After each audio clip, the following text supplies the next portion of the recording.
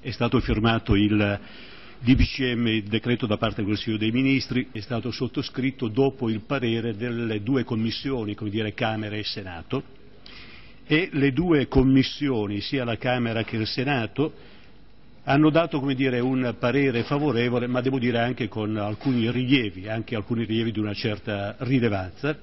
Sono state indicate delle risorse, 800 milioni in tutta Italia. Le regioni tutte abbiamo ritenuto, in base a una stima, che gli 800 milioni non sarebbero stati e non sono dire, sufficienti, abbiamo delle stime di molto superiori rispetto a 800 milioni.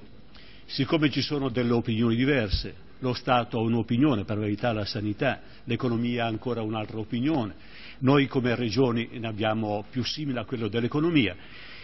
Allora si è deciso, anziché continuare come è avvenuto negli ultimi mesi attraverso un lungo braccio di ferro, 800 milioni su poco, ne occorre un, il doppio, ne occorre un... Eh, eh, partiamo, e abbiamo dato l'assenso, partiamo, però a condizione, questo è stato in qualche maniera indicato nel provvedimento, eh, contemporaneamente però al fatto che la Commissione Idea, dove noi siamo presenti, prima c'era Moirano per tutte le regioni, adesso ci sarà eh, Botti, Renato Botti, eh, come dire, nel, nella Commissione si fa anche una verifica dei costi.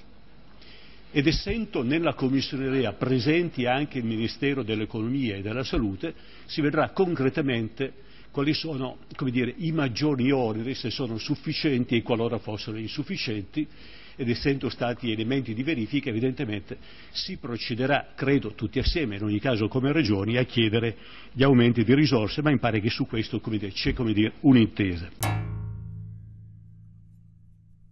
Eh, quindi analizzando la sua relazione, eh, eh, Assessore, io non so se lei è più ottimista o più arrendevole e uso termini volutamente appunto, non offensivi appunto, per, per, favorire la, la, discussione e dibattito. Io mh, appunto, sentendo la sua relazione mi pongo addirittura una domanda, cioè mi chiedo se lei è ancora coordinatore degli assessori alla sanità regionali.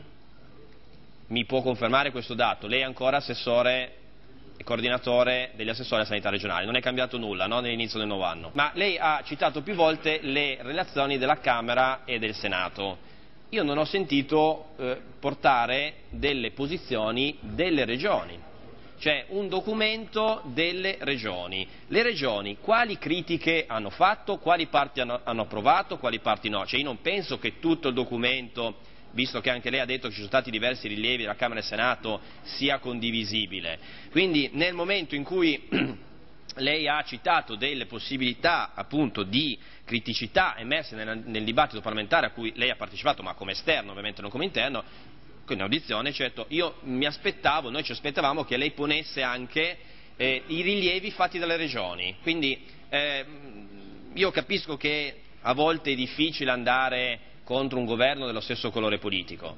Però noi, penso come, come Regione Piemonte, penso le, l'insieme delle regioni che l'hanno eletto comunque, immagino eh, a, a, larga maggioranza eh, come eh, coordinatore appunto delle sanità regionali, vogliono anche da lei comunque una posizione per nome e per conto delle regioni. Perché dire noi eh, adesso insomma, abbiamo appreso che ci potrebbero dare 800, dovrebbero dare 800 milioni di euro per tutta una, una serie di nuovi livelli essenziali di assistenza.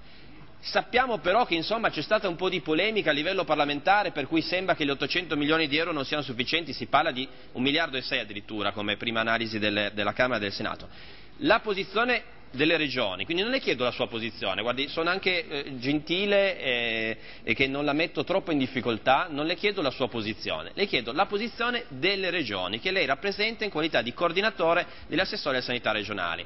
Gli 800 milioni di euro sono sufficienti o no per erogare i nuovi livelli essenziali di assistenza? Perché è una cosa molto semplice, se noi accettiamo eh, e abbiamo accettato oramai questi nuovi livelli essenziali di assistenza, tutti questi nuovi che noi condividiamo perché sono 110 nuove malattie rare, una serie di malattie croniche, una serie sulla procreazione assistita, una parte su cui abbiamo più dubbi sui vaccini di cui poi parlerò dopo, eh, la protesica, il nuovo nomenclatore, eccetera, va bene, ma se le risorse non sono sufficienti neanche a coprire il, il totale di quei nuovi LEA, noi avevamo già difficoltà con il, il, riparto del Fondo Sanitario Nazionale, perennemente tagliato rispetto a quanto previsto dalla Lorenzin, dalla Ministra, mi spiega come facciamo a essere credibili verso i cittadini?